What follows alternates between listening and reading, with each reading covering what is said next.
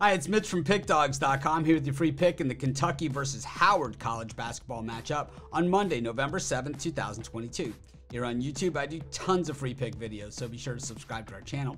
We do free picks every day at sportschatplace.com, pickdawgz.com, right here on YouTube, as well as across social media and our live shows. And when you give out that many free picks, you're bound to like some games more than others.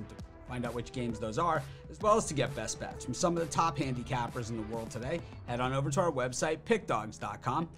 Click on the Premium Picks tab. And while you're there, be sure to use the discount code PICK. You'll get 15% off all of your purchases of $25 or more. But let's get to this one between Kentucky and Howard as we open the college basketball season course, Kentucky absolutely loaded once again. And one thing that John Calipari's done this year is kept guys there. And it's something that we haven't seen from past Kentucky teams. But you see the word senior next to a lot of these guys' names. And, uh, you know, they have a ton of talent. And, of course, a bunch of high school Amer All-Americans coming in. So, you know, Toppin and Wheeler. And then you have Tshiebwe, the player of the year, stayed at Kentucky, came back for another year. I mean, how often have we seen this type of thing from the Cats in recent history? Not too often. And, of course, this was was a Kentucky team that looked very good last season heading into the tournament. A lot of people had high expectations, and then, well, along came the St. Peter's Peacocks, which uh, knocked them right out of the tournament in the Sweet 16, as that's why they call it March Madness. Meanwhile, on the other side of this one, this Howard team really not too bad. Settle and uh,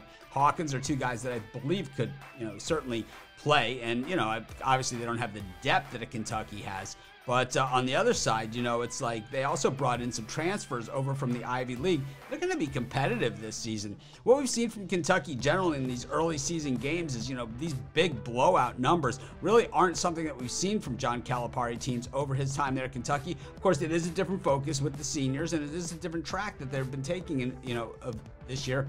I just gotta say, I think 27 and a half. I'm gonna give take a shot here with Howard at Rupp Arena, and that's gonna be my free pick. Of course, while you're doing your picks today, putting your bets in, be sure to use our betting tools at sportschatplace.com. They're the best betting tools on the planet. They prioritize it for you, showing you these are the bets that come in the most often. These are the ones that pay the most money. These are the ones where your best bets and the best place to have your money today.